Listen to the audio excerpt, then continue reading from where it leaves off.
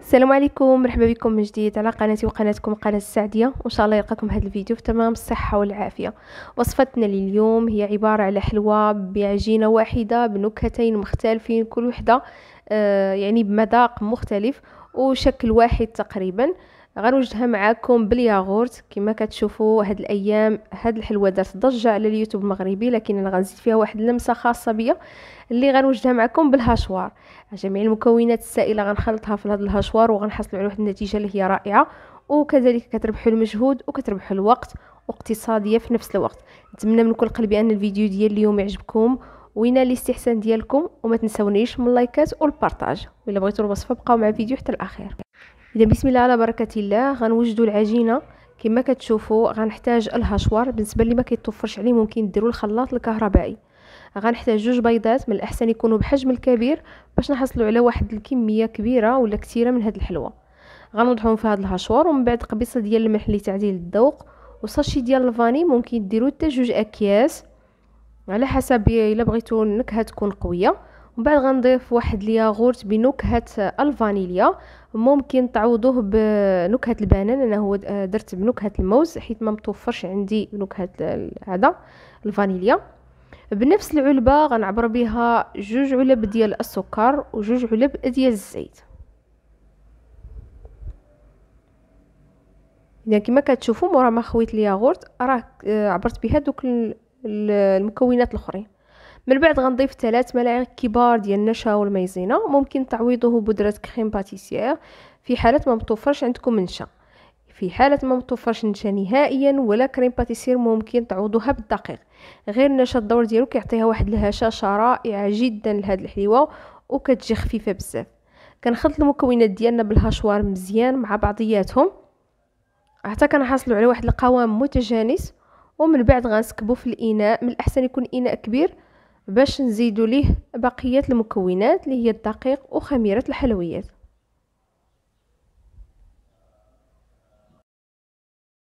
إذا كما شفتوا معايا يعني ربحت الوقت وربحت المجهود دغيا دغيا خلطت دوك المكونات كاملين مع بعضياتهم وحصلت على واحد الخليط متجانس يعني ما غنحصلش عليه إلا استعملت اليدين ديالي. غنسكبو هنا في واحد القصرية ممكن ديروه آه أي حاجة يعني شي بول يكون كبير من الأحسن يكون كبير. ومن بعد غنضيف الدقيق. الدقيق غنعبرو بنفس العلبة وغنعطيكم شحال ديال العلب اللي استعملت. ولكن أنا كما قلت لكم دائما الدقيق واخا نعطيكم الكمية. راه ممكن أنكم تضيفوا أقل أو أكثر على حسب حجم البيض المستعمل والنوعية الدقيق ونوعية الدقيق المستعمل حيت كاين اللي كيشرب السوائل وكاين لا. المهم في الأول ضفت ثلاثة العلب ممسوحة ديال آه، دقيق أبيض يكون من نوعية جيدة خاص بالحلويات وجوج أكياس ديال خميرة الحلويات كل وزن كي كل كيس عفوا كيوزن 8 غرام أي في المجموع 16 غرام. ومن بعد كندخل دقيق في الخليط ديالنا كما كتشوفوا ما كنعجنش غير بيديا كنحاول ندخل شوية بشوية داك الدقيق حتى كنحصل على واحد القوام متجانس. ومن بعد كنزيد بقية أولا الكمية الأخرى من الدقيق. المهم أنا تقريبا خدم معايا سبع علب ولكن نتوما راه ممكن يخدم معاكم أكثر كما شفتوا معايا أنا ضفت هنايا تقريبا جوج علب. وغنحاول نعجن العجينة ديالي. كما قلت لكم أنا ما كندلكوش غير بالأصابع ديال اليدين. كنحاول نمزج هذاك الدقيق مع مع العجينة. اذا هنا كما كتشوفوا في العدد راه وصلنا دابا ستة ديال العلب. العجينة ديالنا بدات كتماسك. هنا غنضيفوا العلبة الأخيرة اللي هي سبع علب البنات. ومثلا باش نعرفوا القوام ديالنا أو حصلنا على القوام المطلوب. العجينة خصها تكون مرخوفة وما كتلتصقش باليدين. حاولوا دائما يعني تكونوا تغسلوا يديكم أو اليد الأخرى اللي ما كتخدموش بها. تمسلوا العجينة. إلا بانت لكم خفيفة وفي نفس الوقت ما كتلتصقش باليدين حبسوا هنايا إضافة الدقيق باش ما تجيكمش قاصحه وتجي هشيشه بزاف. من بعد كنكور العجينة ديالي وكنوضعها في واحد الصينية ديال الفرن اللي فرش فيها ورق الطبخ. اللي ما متوفرش على ورق الطبخ ممكن أنكم تدهنوها غير بقليل من الزيت. راه ما كتلتصقش بالصينية نهائيا. صافي بالنسبة للحجم ديال الكويرات راه نتوما اللي كتحكموا فيه أنا الحجم اللي هو متوسط. وبالنسبة لطريقة الطهي راه طريقة عادية كيما أي حلوة كنطيبو يعني طريقة أي حلوة أخرى. غنسخن الفران على درجة 180 ومورا ما كندخل الصينية ديالنا. المهم كتسنى هو الأول تيسخن ومورا ما كندخل الصينية ديالنا. كنخلي الفرن آه شاعل غير من الأسفل فقط حتى كطيب الحلوة ديالنا عاد كنشعل الفوق. بالنسبة لطريقة الطهي في الفرن الغاز أنا راه طيبتها في فرن الغاز. نفس الطريقة البنات غير هنايا الفرن الغاز خليو الحرارة تكون في أدنى درجة. وحتى كيسخن الفرن ديالكم عاد دخلوا الحلوة ديالكم الفرن. ونفس الطريقة غنخليو غير لتحت هو اللي شاعل حتى كطيب من التحت عاد كنشعلو الفوق وكنطفيو الأسفل ونخليوها تتحمر ونخرجوها. المهم هنا كما كتشوفون بعد ما كورت العجينة ديالنا كاملة راه البنات كندير واحد الثقب في الوسط بالاستعانة بأي أداة عندكم اولا بالاصبع بهذه الطريقة. ولكن حاولوا ديروا الاصبع ديالكم تمرمدوا شوية الدقيق عاد ديك الساعة ديروا آه هذا الشكل. المهم البنات هنا مورا ما دخلتها كتسناو غير شي شوية راه كتعاود البنات تنتفخ هذيك الحلوة. وهذاك الثقب كيعاود يطلع. حاولوا تاخذوا شي أداة أو بالاصبع ديالكم كتعاودوا ديروا الحفرة في الوسط باش هكايا كنحصلوا على شكل اللي هو زوين. المهم البنات إلا ما درتوش هاد الطريقة راه غطلع لكم الحلوة ديالكم وتخرج كلها مكورة وما فيهاش نهائيا هاد الثقب في الوسط.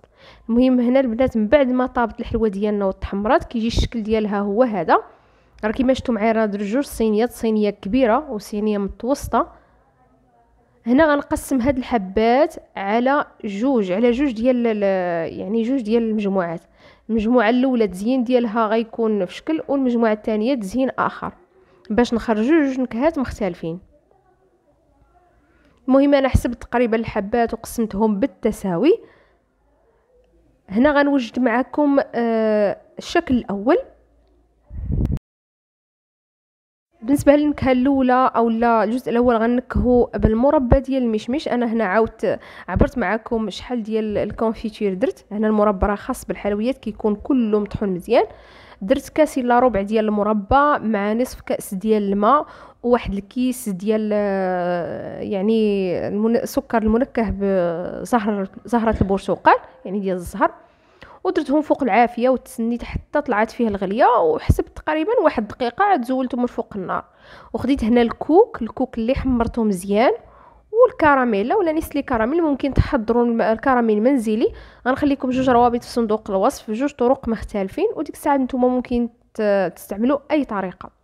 المهم هذيك لاصوص من بعد ما طابت وهي مازال سخونة والحلوة ديالنا راه بردت تماما يعني الحلوة راه باردة ولكن لاصوص راه سخونة مزيان. ما كنحاولش ما كنخليهاش تطول آه، في آه، في هذيك لاصوص لأنها ممكن تشرب بزاف وتجي هشيشه أكثر من القياس. المهم هنايا كنمرمدها في هذاك الكوك اللي محمر صراحة كيجي المذاق ديالو رائع جدا ومختلف على الكوك العادي. ونفس الطريقة كنكمل بها الحلوة ديالنا كاملة. كندير ربعة بربعة البنات باش دغيا دغيا نحيد كل وحيدة. ولكن لاصوص ديالكم إلا بردت ممكن أنكم تخليو شوية تخليو الحلوة ديالكم تشرب هذوك هذاك ال sirop. عاد ديك الساعات تخرجوها اولا تحل تحيدوها من ال sirop اولا من هاد la sauce وديروها في هاد الكوك. حيت ملي كتكون la sauce سخونة راه دغيا دغيا كتدخل مع الحلوة وكتشربها الحلوة وكتعطيكم واحد الشكل اللي هو زوين. ولكن إلا طولت راه ممكن أنها تخسر وتجي آه، هشيشة فوق القياس. المهم هنا هاد واحد الكمية قليلة اللي شاط ليا يعني العبار اللي عطيتكم فهو مضبوط. يعني ما غيبقاش لكم بزاف من la sauce بالنسبة للتزيين غنعمرو كذلك هذوك الحفيرات ب sauce caramel. أنا استعملت Nestlé caramel. إلا بغيتو la sauce توجدوها في الدار وتجيكم اقتصادية بزاف راه غنخليكم جوج ديال الروابط ديال جوج ديال les sauces مختلفين. كلهم كيجيو لذاد وكيجيو رائعين بزاف. وفي نفس الوقت كما قلت لكم كيجيو آه، اقتصاديين. إذا هنا بالنسبة للحلوة اللي كنت درتها في آه، يعني اللاطه الثانية ولا الصينية الثانية راه طابت. غنزيدها على الأخرى. هنا خديت كاس ونص ديال الحليب غنزيد ليه واحد العلبة ديال كاكاو الحلو اولا ديك بودرة الشوكولاتة اللي كنضيفوها مع الحليب. غنخلطهم جيدا مع بعضياتهم وغنوضعوهم على نار. حتى تطلع فيه الغلية ونتسنى تقريبا واحد 30 ثانية. عاد ديك الساعات غنزولها من النار. وغنزينها كذلك هنا بالكوك الكوك عادي ما غنحمروش. وملي طيب لاصوص ديالنا غنزيد ست قطع ديال الشوكولاتة. هاد ليطاب أو هاد المرحلة اختيارية ولكن صراحة كنفضلها حيت كتخلي لاصوص ديالنا كتجي ثقيله وزوينة بزاف.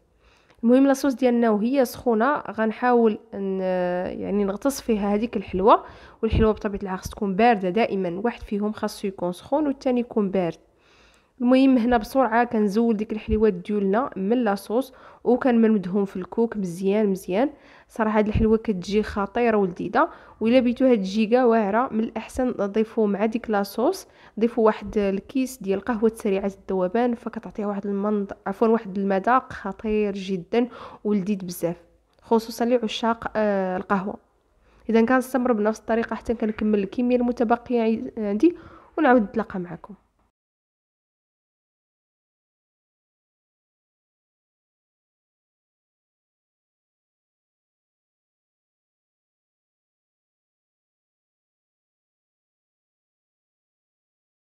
خديت واحد الكمية من بديل الشوكولاتة أنا خديت نوعية غالا لأنه ما غنضيفوا ليها حتى حاجة ملي كندو ملي كندوبوها كتجي سائلة وكيكون سهل أننا نخدموا بها.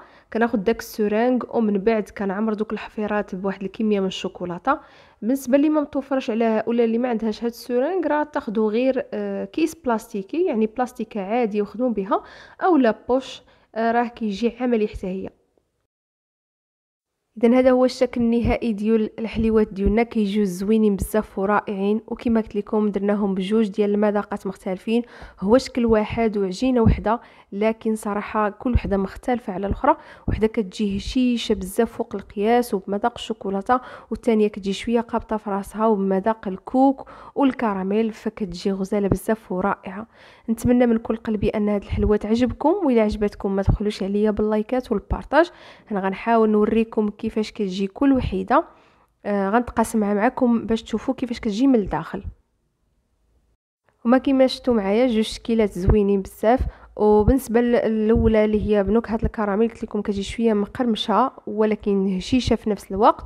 والثانية اللي هي بمذاق الشوكولاتة واللي درناها بالكوبيل والحليب هذه ضروري البنات ديروها في شي بواطه تكون محكمة الإغلاق ودخلوها في الثلاجة لأنه هذيك لاصوص درنا فيها الحليب باش ما تخسرش معكم وتحتفظوا بها.